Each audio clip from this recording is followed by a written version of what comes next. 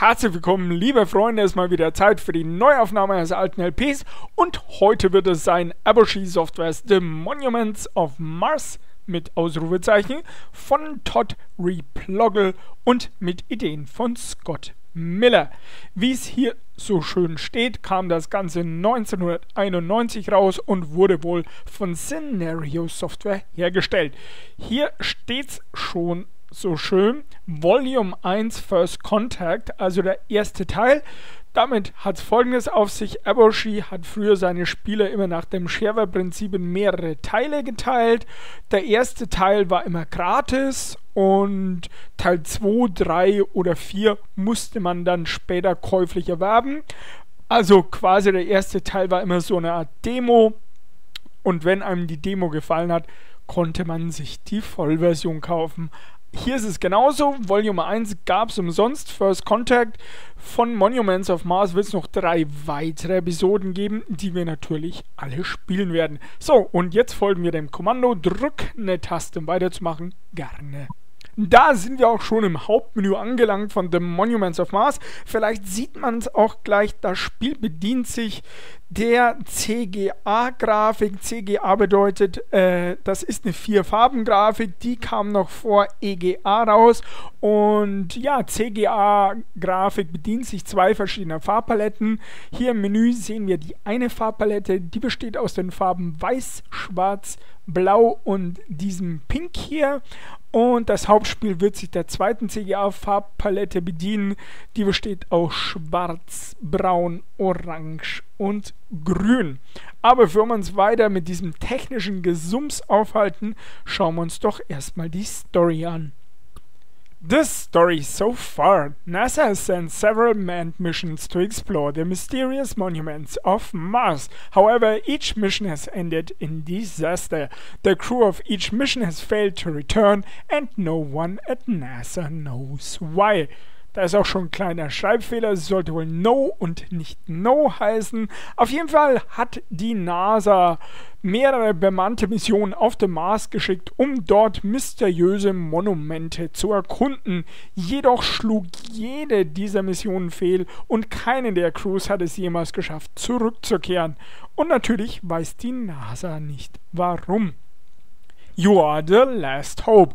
Can you explore the strange Martian structures and reveal their secrets? Can you survive to discover what happened to the man who manned the previous missions? Also wir sind wie immer die letzte Hoffnung und man fragt uns, ob wir die äh, geheimnisvollen martianischen Strukturen und deren Geheimnisse lüften können und ob wir lange genug überleben können, um herauszufinden, was mit den vorherigen bemannten Missionen passiert ist. Your computer-guided ship guides itself past deadly meteors and into the strong gravitational pull of the Earth-sized red planet. Also unser computergesteuertes Schiff navigiert vorbei an tödlichen Meteoren und bringt uns in die Umlaufbahn des erdgroßen roten Riesenplaneten. It won't be long now now you think to yourself until the secrets of the monuments of Mars are finally revealed. Also du denkst dir bei dir selbst, es wird nicht mehr lange dauern, bis die Geheimnisse der Monumente des Mars gelüftet sind. Gut, das war die Story. Äh, ich muss noch schnell meine Tasten einstellen. Also hier hat man 1, 2, 3, 4, 5, 6, 7, 8 vorgefertigte äh, Keyboard-Schemen zur Verfügung. Dafür, äh, beziehungsweise daraus kann man sich eins aussuchen. Ich nehme mal die Nummer G, die passt mir am besten. Das ist die typische Aboshi-Steuerung von früher. Da steht ja auch schon, Current Setting ist G, hätte ich gar nicht ändern müssen. Okay, und dann schauen wir noch, bevor wir dann endlich loslegen, mal in die Instructions. Also ich werde jetzt hier nicht äh, alles durchlesen, wie die Spielmechanik funktioniert. Das werden wir im Laufe des Spiels selber herausfinden. Ich wollte aber nur mal reingucken, weil es hier eine schöne Special Notice gibt. Die wollte ich unbedingt mal vorlesen, weil nach all den Jahren ist die wirklich suffisant. The Monuments of Mars has very complex graphics and animation, therefore it will not run fast enough on any 8088 CPU, IBM or compatible. In other words, you must have a system equipped with an 80, 86, 82, 86 or 83, 86. Also da heißt so ganz großkotzig, The Monuments of Mars hat sehr komplexe Grafik und Animationen, die werden wir gleich sehen und wird deshalb nicht schnell genug auf einem 80, 88er laufen und man sollte doch mindestens 80, 86er, ein 286er oder ein 3 86 haben. Danke, danke auch dir, mein lieber Special Notice Schreiber. Und jetzt machen wir endlich mal Journey Onward. Wir legen los mit The Monuments of Mars, Episode 1, First Contact. Und da sind wir schon als einsamer, verbitterter Astronaut am linken Bildschirmrand gestrandet auf der Marsoberfläche, wie es dort oben links so richtig steht in Level 1. Jeder Bildschirm in The Monuments of Mars wird ein Level sein, sobald man den Bildschirm verlässt schreitet man also automatisch ins nächste Level voran. Level pro Episode wird es insgesamt 20 geben und vorherige Level kann man nicht wieder besuchen. Eine Waffe haben wir auch, insgesamt dafür 5 Schüsse und Moment noch eine Punktezahl von 0. Gut, dann würde ich mal sagen, wir trotten los und das hier sind die komplexen Grafiken und Animationen, die angesprochen wurden. Und Achtung, jetzt kommen noch komplexe Soundeffekte hinzu. Die kommen aus dem PC äh, internen Lautsprecher. Musik gibt es keine und wir sind jetzt schon vorangeschritten Level 2. Dort gibt es erste Gegner, wie ihr seht. Roboter, die könnten wir rein theoretisch auch abschießen, aber die Sache ist folgendes. Schüsse für unsere Waffe sind sehr spärlich gesät in diesem Spiel und man sollte äh, sich Schüsse aufheben, so gut wie es geht und wirklich nur dann verwenden, wenn man sie unbedingt braucht, weil sonst wird man später im späteren Spielverlauf äh, in ein Dilemma kommen, wenn man keinen Schuss mehr hat und sie dann wirklich braucht. So, Level 4, das erste, das ein bisschen haarig ist und eine erste Herausforderung ist. Am rechten Bildschirmrand seht ihr diesen Tank, das ist Munition für unsere Waffe. Wir haben drei Schuss hinzubekommen und jetzt kommt die erste blöde Stelle, da müssen wir genau zentriert springen damit wir nicht in die Laserfelder kommen und den Gegner treffen. Und wir sind in Level 5 erstmal in den Eingeweiden des Mars und ab jetzt wird es so richtig interessant. Und ich finde, was mir schon immer in dem Spiel gefallen hat, die Grafik ist irgendwie sympathisch. Diese ganzen Konstruktionen finde ich sehr cool und keine Ahnung, das hat mich damals so an dem Spiel gefesselt. Übrigens, falls wir mal sterben sollten, dann gehen wir sofort kaputt. Na ja, gut, ist logisch. Was ich sagen wollte ist, sobald wir eine Gefahr berühren, wie zum Beispiel Spitzen, elektrische Felder oder Gegner, sterben wir sofort. Glücklicherweise haben wir unendlich Leben. Falls wir sterben, müssen wir einfach das Level nochmal von vorne beginnen. So, und jetzt killen wir unseren ersten Gegner. An dem kommen wir sonst nämlich nicht vorbei. Dann springen wir die Spitzen, aktivieren den Schalter. Dann geht da die Energiebarriere weg.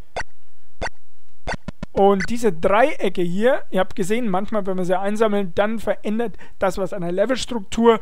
An sich nützen die Dinger zu nichts, die geben halt ein bisschen Punkte. So, dort oben bei dem einen Gegner seht ihr vielleicht eine Karte. Und wenn ihr so eine Karte in einem Level seht, könnt ihr ganz sicher davon ausgehen, dass wir die brauchen werden für den späteren Spielverlauf. In diesem Level steht es da oben schon Card, Ausrufezeichen. Die brauchen wir, um diese Türe zu öffnen und das Level zu beenden. Aber bevor wir das machen, würde ich doch gern noch die Munition und die Punkte mir holen. Wie gesagt, die Munition ist wichtig und kostbar. So, die Gegner müssen wir nicht töten, die sind keine Gefahr. Wir sparen uns lieber die Schuss und schreiten voran in Level 6. Das war immer mein Lieblingslevel dieses Spiels. Ich habe keine Ahnung warum, aber mir gefällt es einfach. Ich habe früher, als ich noch wirklich ein ganz kleiner Wutz war, also wirklich so 6, 7 Jahre, und ich das Spiel das erste Mal gespielt habe, da habe ich dann immer auf Papier meine eigenen Monuments of Mars Level gezeichnet. Also da hätte ich mich wirklich super gefreut, wenn es da ein Level Editor gegeben hätte. Und dieses Level hat mich da auch so ein bisschen inspiriert dazu. Gut, wir schalten voran. Wir drücken das Schalterlein, um eben die Energiebarriere hier auszuschalten. Da müssen wir aufpassen, dass wir nicht von den äh, Schleimtropfen erwischt werden. Also im Moment sind die Level noch ziemlich einfach und die Rätsel auch ziemlich einfach, aber das wird sich später noch ziemlich ändern. Ne? Also die können eventuell ganz schön knackig werden und das tun sie dann auch. So, hier verändert sich wieder die Landschaft. Das heißt, wir müssen noch einen Schuss abgeben. Dann sammeln wir die Card ein und gehen ins nächste Level. Also manche Level, die kann man auch wirklich nur dank Trial und Error lösen, weil es passieren manchmal so unvorhersehbare Dinge, die man beim ersten Mal gar nicht wissen kann. Das hier ist so eine Satellitenschüssel. Ich weiß jetzt gar nicht mehr konkret, für was die war. Ich glaube, die hat jetzt auch irgendwas ausgeschaltet. Dann aktivieren wir hier den Schalter. Nehmen wir uns mal den Block mit. Ich weiß gar nicht, ob wir den wirklich brauchen. Ah ja, gut, den können wir verwenden, um uns die Punkte dort oben zu krapschen, wenn man den will. Muss aber nicht sein. Ich nehme jetzt mal so viel mit wie möglich. Zurückschieben können wir das Ding eh nicht mehr. Und dann müssen wir schauen, dass wir hier oben raufkommen mit dem Aufzug, ohne dass wir mit den Gegnern kollidieren. Holen wir uns die Card und dann gehen wir links wieder in den Zielbereich. So, jetzt wäre es ziemlich dumm darauf zu gehen. Müssen wir halt einfach abwarten. Das gehört zu Oldschool Jump'n'Runs einfach dazu. Stichwort Oldschool Jump'n'Runs. Es gibt zwei weitere Jump'n'Runs von Eboshi, die auf diesem CGA-Spielprinzip äh, basieren. Also Monuments of Mars ist eins von denen. Die zwei anderen sind erstens mal Antarctic Adventure, glaube ich, hieß es. Das hat dieselbe Spielmechanik und ähnliche Grafiken und spielt in der Antarktis. Und dann gab es noch eins, das hieß Pharaoh's Tomb. Dort muss man die mysteriösen Geheimnisse der ägyptischen Pyramiden lösen. Also alle auf derselben Mechanik basieren und auf derselben Grafik-Engine. Und wir schreiten voran in Level 8 töten den Gegner. Das ist so ein bisschen böses Level, weil da, wie schon gesagt, ich habe es ja schon mal angesprochen, es gibt einige Mechaniken in dem Spiel, die sind unvorhersehbar und da gehört dieses Level schon mal dazu. Nun denn, der Gegner ist schneller als Aufzug, das heißt, wir werden den Gegner mal kastrieren und dann nehmen wir den Fahrstuhl nach drüben. So, ich glaube, den oberen Gegner, den müssen wir gleich abschießen, da führt kein Weg dran vorbei wenn wir später weiterkommen wollen. Also ich schieße den gleich mal ab, dann lasse ich mich hier runterfallen und töte erstmal den untersten. Ihr seht, wir kommen momentan noch nicht an die Karte. Das heißt, wir müssen noch mal eine Ehrenrunde drehen. Jetzt fährt sich nämlich die Brücke aus, also die ganze Chose nochmal. Also später werden die Rätsel auch wirklich cool und nicht ganz einfach. Also deshalb macht das Spiel auch so Spaß. Ich glaube, ich mache es immer so, dass ich 10 Level spiele oder 15 Minuten und dann mache mir eine neue Folge. Ich glaube, das ist am vernünftigsten. Jetzt bei der ersten Folge habe ich die Zeit nicht gestoppt. Ich würde sagen, wir machen die ersten 10 Level, dann ist gut für die Episode. Ich bin ja, also die meisten Leute sind ja schon davon abgekommen, aber ich bin ehrlich gesagt immer noch ein Verfechter der 15-Minuten-Folgen. Ich finde es auch einfach fürs Aufnehmen am besten. Also ich bin nicht so einer, der sich vier Stunden hinsetzen kann und am Stück aufnehmen kann. Das klappt bei mir einfach nicht. Ich brauche kurze, knackige Segmente, dann kann ich das am besten machen. Und ich habe für mich selber so herausgefunden, die 15 Minuten sind für mich am sinnvollsten. Oi. Wie ging denn das schnell wieder? Ich habe keine Ahnung mehr. Da müssen wir jetzt ein bisschen experimentieren. Okay, der Schalter macht schon mal das da unten aus. Das ist sehr gut.